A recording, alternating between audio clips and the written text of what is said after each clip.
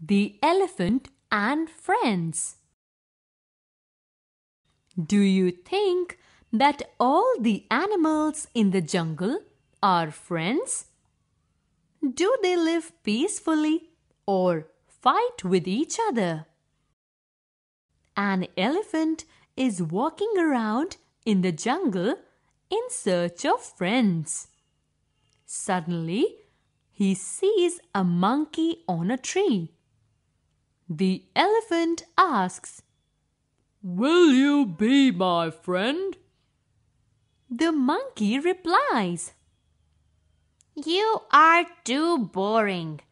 You cannot jump from one tree to another like me. Then the elephant meets a rabbit. The elephant asks the rabbit, Will you be my friend?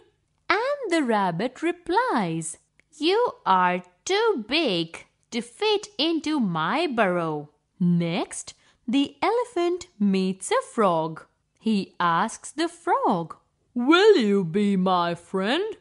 The frog replies, You are too big and will not be able to leap about like me. The elephant feels very sad. Next, he meets a fox. He asks the same question. The fox gives the same reply. He says, Sir, you are too big. The next day, the elephant sees that all the animals are running here and there to save themselves. The elephant asks, What is the matter?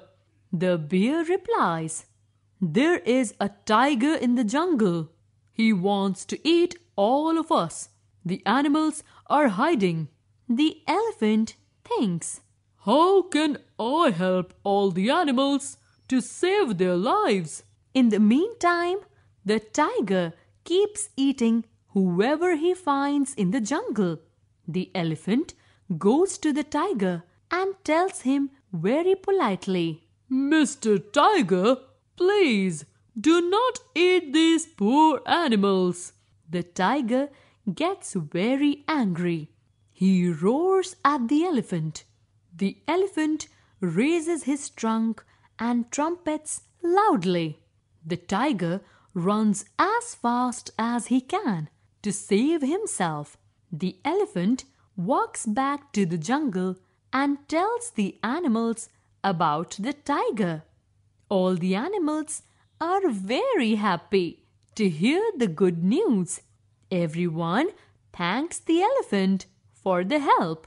All the animals say, You are just the right size to be our friend.